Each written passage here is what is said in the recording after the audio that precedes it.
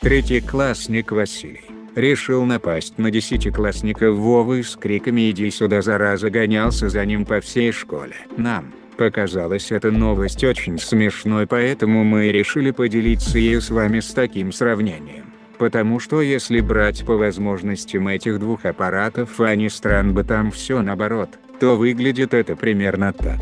Как мы его иногда называем Москва-Бади, в своей пропаганде дошли до стадии, которую не мог предусмотреть даже дедушка Руэл. Сообщение от так называемого Минобороны, а на самом деле Миннападение РФ, снова демонстрирует то, что предел любой логики и здравого смысла полностью пройден. Или, как говорил наш классик, я думала, что это уже дно, но снизу постучались. В частности, как официально доложено в Москвабаде еще 25 августа, в Сирии в районе Танф на высоте 7 километров 200 метров. Американский БПЛАМ-Q-9 с англосаксским названием «Риппер» опасно приблизился к российскому многоцелевому истребителю или, как мы его называем, летающему ведру с болтами и гайками Су-35. Российский летчик, продемонстрировав высокий профессионализм вовремя принял необходимые меры для предотвращения столкновения говорится в сообщении. Как именно винтовой БПЛАМ Q-9 имеющий крейсерскую скорость в 313 км в час мог опасно приблизиться к Су-35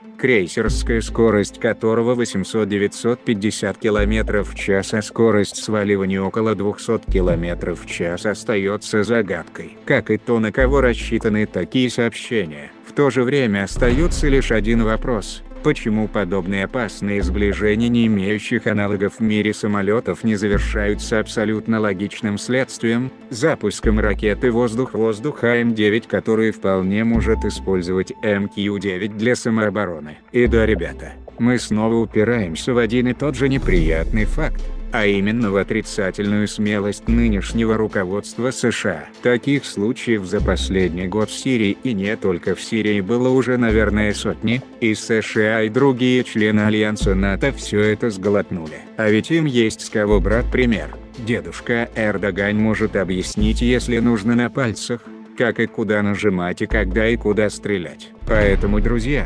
подписываемся на этот и на наш новый резервный канал, где нас уже больше двух тысяч. И куда, если ничего не изменится, мы планируем через пару месяцев перенести наше незаурядное творчество. Мы напомним этому каналу шось пороблено в плане просмотров и минус 200-300 подписчиков каждый месяц. Наверное, кто-то приложил к этому свои потные ручонки. Нас просто не видит почти все 130 тысяч наших подписчиков о чем те нам постоянно пишут, типа куда вы пропали на год. А также помогаем каналу по ссылкам под видео финансово шоп мы вообще не загнулись. Доллар 2-5 кто сколько может. Ну и естественно, ставим на двух каналах палец вверх подписку и колокол и будет вам как мы очень любим говорить плюсик в карму и огромные зачетища.